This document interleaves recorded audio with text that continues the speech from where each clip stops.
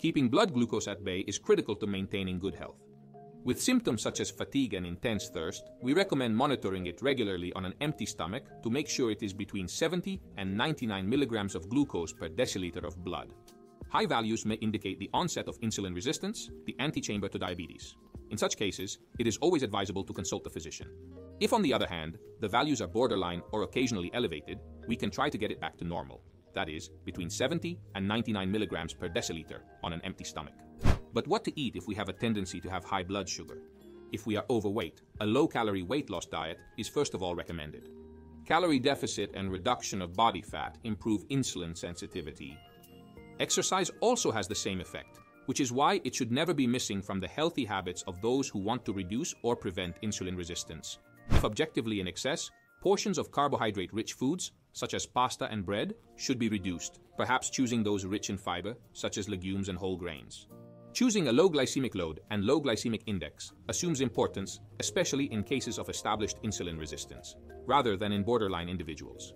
It may also help to have smaller but frequent meals of mixed composition. This further reduces the load and glycemic index. Nevertheless, good results are also obtained by setting up controlled fasting, but always in the context of a low-calorie diet. The diet should normally be rich in essential fats and amino acids, vitamins and minerals.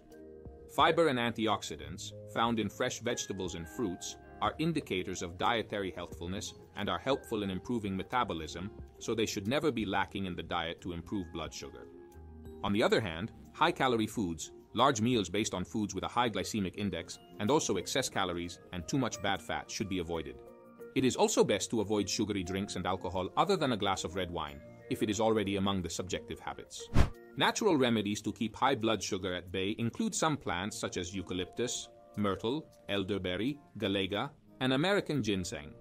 Finally, the doctor may prescribe medications to manage blood sugar, but prevention is essential, especially in cases of heredity. The best way to keep blood glucose values in the normal range is to have a normal weight, eat a balanced diet, exercise, and perform regular blood glucose checks.